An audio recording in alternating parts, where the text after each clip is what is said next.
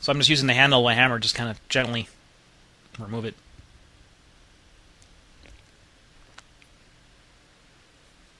And then remove all of the bolts attached to the uh, cam covers.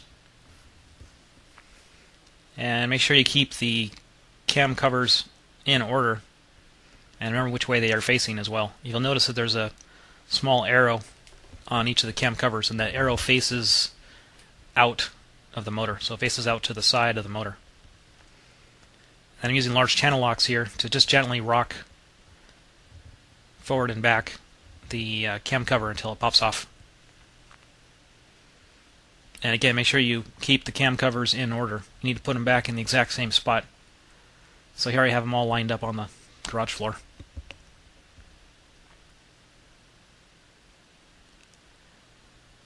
Now from the factory, the uh, outside piece here, which holds the oil in, is sealed with RTV. So you need to remove any of the stuck on RTV so you have a nice clean spot to put the, uh, the cover back on when we're done.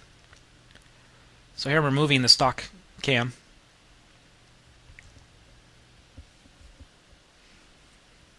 And then take off the oil seal from the stock cam, put it on the new cam. Just inspect it to make sure it doesn't have any cracks or anything.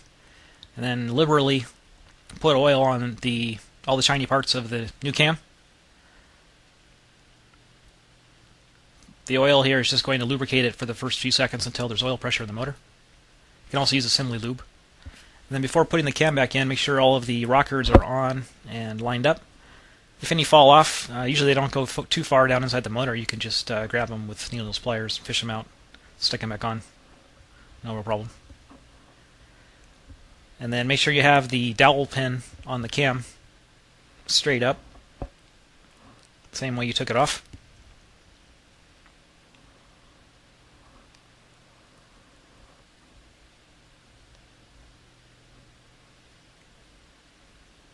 And then here I'm removing the rest of the RTV, which is stuck onto this outside cover here. At the factory, they just kind of slop it on, so it's usually pretty heavy. You don't need to get too carried away, just, uh, just get as clean as you can, and then put on another uh, thin coat.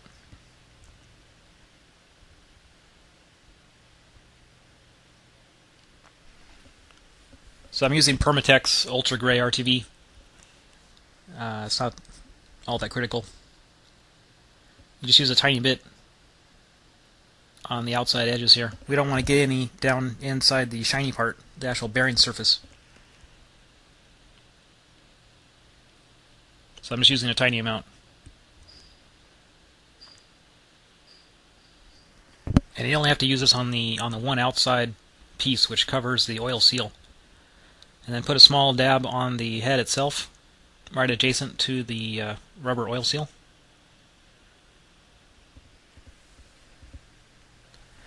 And then just reassemble the cam covers, put the bolts back in. We're going to just put them in pretty loosely for now. And then use a torque wrench and tighten them down to 20 25 foot pounds of torque evenly. Now on the exhaust cam, there is a cam angle sensor. So what you have to do is remove this triangular plate. What I usually do is I don't remove it all the way. I just take off the top two bolts and then loosen up the bottom bolt and slide the triangular cover down. And then you can get access to the 12 millimeter bolt which bolts into the end of the cam here. You can see I'm pushing the cam angle sensor back out of the way. So you just pull the exhaust cam out and uh, it's the same as we did on the intake cam. We transfer over the oil seal. We get all the rockers lined up. We put the cam back in and then I'm lining up the cam angle sensor here, putting it back into that little spline slot, and then putting the bolt back in.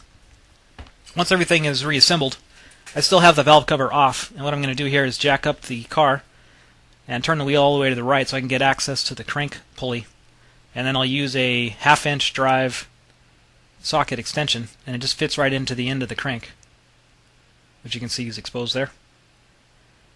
And it'll be kind of hard to turn, but uh, make sure you take it out of the gear first. And just crank the engine through uh, one or two full rotations. You want to make sure that there's no uh, binding anywhere. It should turn relatively easily throughout the entire uh, rotation. And then uh, just put the valve cover back on, and uh, that's pretty much all there is to it. I reassemble everything the way it came off.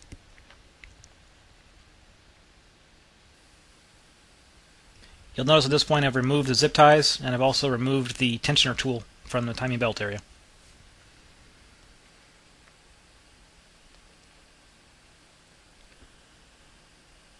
So now that everything checks out mechanically, I want to just put a little bit of RTV. This is going to go on the rubber oil seal, just the half moon shaped parts of the timing or the uh, rocker cover.